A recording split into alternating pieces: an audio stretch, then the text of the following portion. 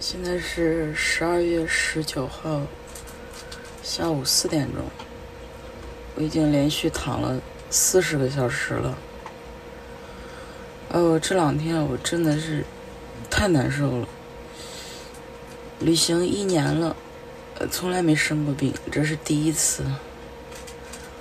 就是那种浑身酸疼，除了在床上、被窝里。哪儿也不想去，一下地就头晕，一下床就冷，吃点东西吧就想吐，喝点水呢也想吐，所以就喝水的时候只能一小口一小口的喝。现在我不确定自己是不是阳了，因为没测，但我也不能说自己没阳，因为没测。早上呢，燕儿姐他们从荣城回来，我说让他们看有没有去药店看看有没有抗原，抗原试纸，捎两个回来我测一测。但是现在药店没有卖的，因为现在在啊山上，我下趟山去做核酸也不方便，现在也开不了车。浑身的那个酸疼的感觉，就就就像散架了似的，每一个骨关节都疼，就包括手、手指、手指关节都疼。昨天最严重的时候是头疼，一咳嗽，整个整个这个脑袋就像炸了似的。哎呀，现在也是。一咳嗽，这两边两边太阳穴疼，所以这两天呢，他们回来的时候，我就尽量不下车，除了上厕所我不下车。他们不 不在的时候，我也基本不下车，别因为我自己这这这样，万一是阳了呢，是吧？再给他们也给也也给传染上，他们还有事儿呢。昨天呢，燕儿姐走之前给了我几粒药，那个，嗯，那个药名字我也没记住，反正就是它是治这个浑身酸疼、发烧以后浑身酸疼。但是我一直感觉自己不烧，一直没有发烧，就是浑身酸疼，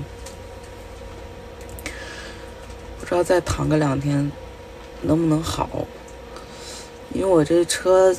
这前两天就说去修车，结果又赶上大雪，出不去。昨天说跟他们一起去天鹅湖，也没去成。哎呀，这种这这这种难受劲儿真是。如果我是不幸中招了，那希望正如大家说的，半年之后，半年之内不会再得。如果不是中招的话，后面还是要加强锻炼，增强自己的免疫力。也希望朋友们呢，就是一定要保护好自己。其实那天的情况是这样的：晚上、白天一整天都好好的，就是很正常。晚上吃饭的时候也没事儿。吃饭的时候就是在那个里里边有一个大炕，我们坐在炕上吃的烧烤。可能是我当时穿少了，进进出出的，就穿了一件毛衣，套了个马甲，进进出出好多次，然后最后回到车上，就就开始觉得有点不对劲，躺着躺着就就开始浑身开始疼了。昨天一天呢，真的是动都动不了。昨天一天躺在床上就昏睡了一天，今天是稍微好了一点，但是也没有恢复。啊，哎呀，这种感觉真是真是太酸爽，太难受了。哎，起床都费劲呢。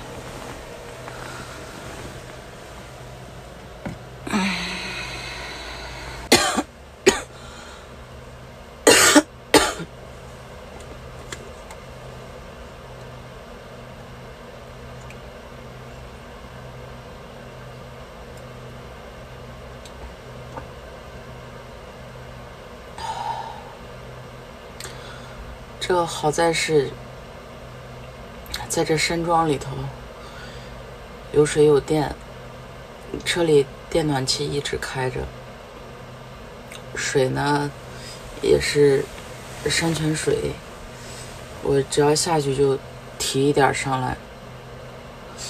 反正现在就尽量减少上下车的次数，下边还是有点冷的。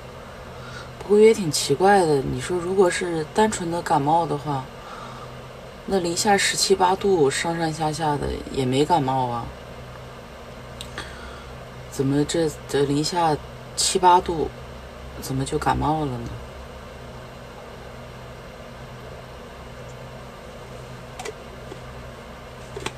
现在喝水不敢大口大口喝，大口大口喝喝的话，一下去就就。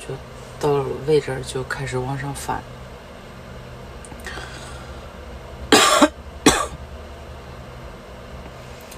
昨天呢，这个咳的里边带痰，今天就是感觉就是嗓子这儿，呃，只是好像还是有点堵，就已经没有痰了。哎呀，啊！最疼的是哪儿呢？是这两个肩膀，还有腰，还有背上的皮。这种这种，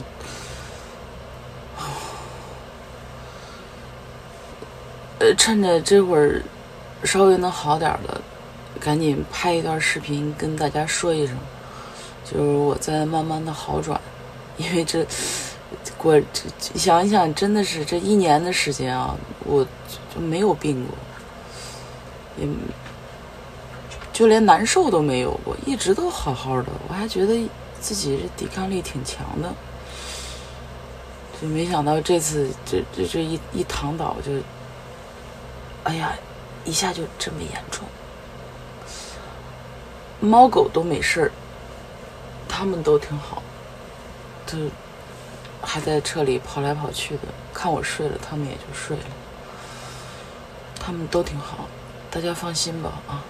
等过两天我好了，就先去修车，然后我也想去趟荣城。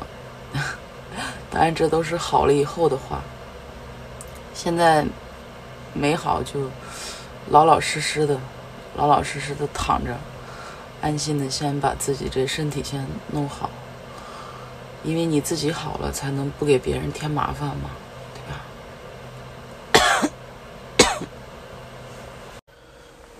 哎，哎呀，这个，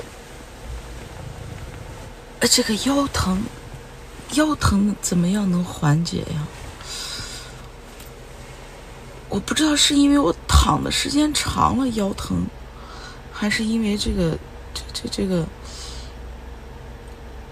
这浑身酸疼，然后引起的腰也疼，反正是怎么都不对劲。哎，哪哪都不好。现在等我好了，我要先去泡个澡，蒸个桑拿，把身体里头的寒气给它逼出来。哎，不行，又迷瞪了。哎呀。有味道。